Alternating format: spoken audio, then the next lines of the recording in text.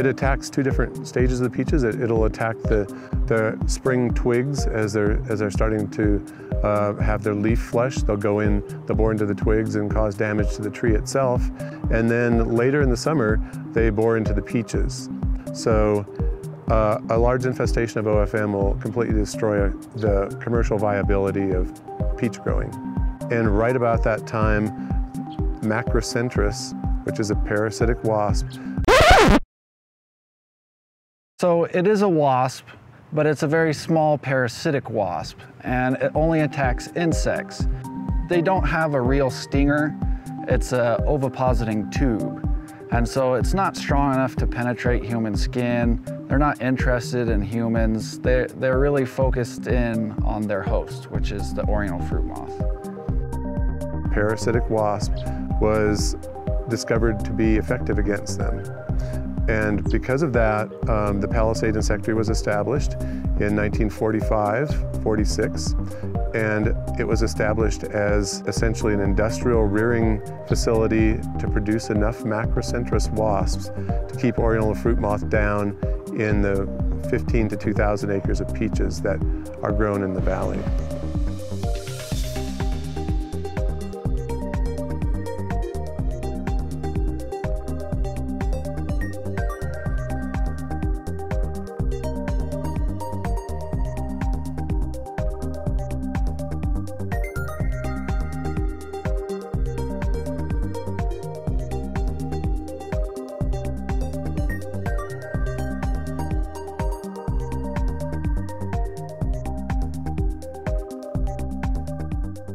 So any of the biological control agents that we introduce, number one, they're host specific.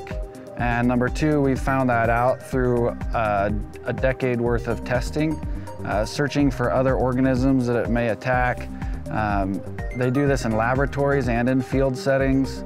Insects have a very short life cycle. So in that way, they're able to do several generations in a short period of time. That allows evolution to work on them very rapidly. So they've evolved very fast to specialize on parasitizing certain insects. So they're pre-programmed. Insects do not have a large brain. They just work off of instinct. If there's no oriental fruit moth for them to attack, they will fly and fly and fly until their wings fall off, just searching for that cue.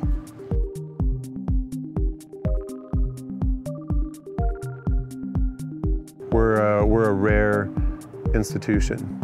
Um, there's an, there's a, an insectary in Idaho, and there are a couple back east. But ours is, um, not to brag too much, but it is the, the biggest and the best facility for this type of work in the nation.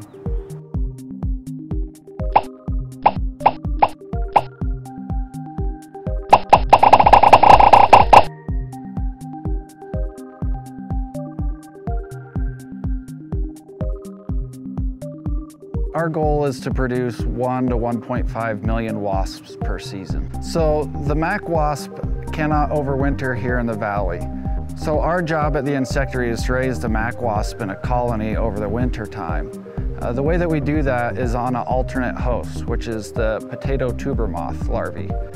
They attack those in our facility uh, that are burrowing into potatoes. What we do is we have potatoes shipped in. We have a board covered in nails. We puncture the potato with several spikes.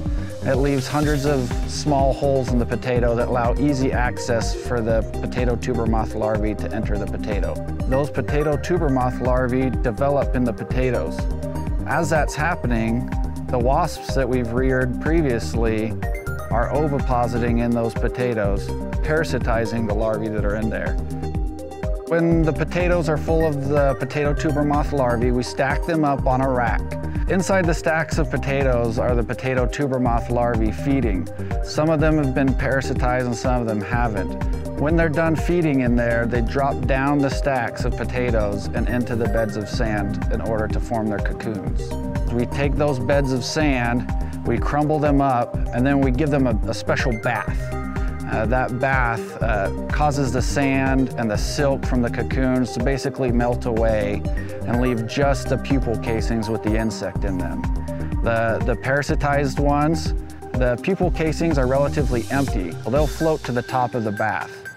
Those that are healthy are still very dense and they'll sink to the bottom. So all we have to do is use a scoop and we get the parasitized ones separated off the top of the bath, put them in little paper bags. We have some material in them so that when the wasps emerge as adults, they have something to crawl up onto. When they emerge, their exoskeletons have to solidify and dry up a bit. and their wings get ready and, and then they can crawl off of that and fly away.